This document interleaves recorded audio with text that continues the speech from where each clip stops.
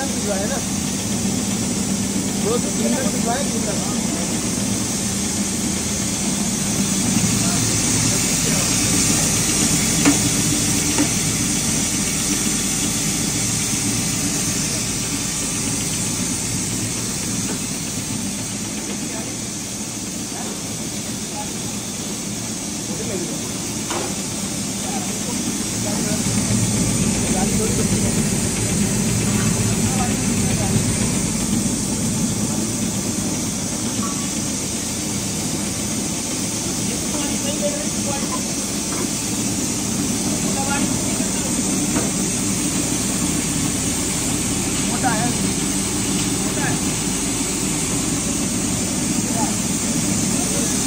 Thank you.